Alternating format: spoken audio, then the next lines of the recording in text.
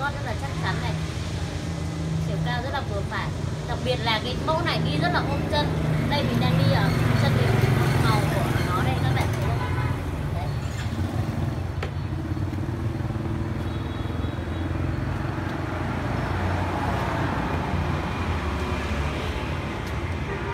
thấy xăng đen này nó có hai màu các bạn nhá.